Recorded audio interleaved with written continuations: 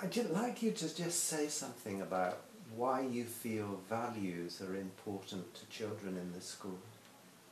Well, I think that values are very important in this school because values obviously make the world go round. And without values this will be a very violent world.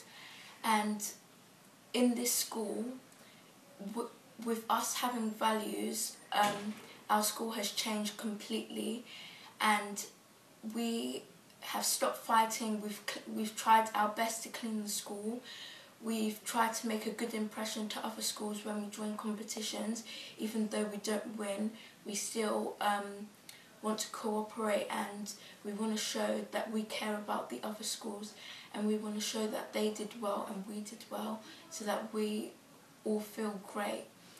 And I think that with values uh, this whole school has changed and we, we wouldn't be anything without values. Thank you very much indeed. Thank you.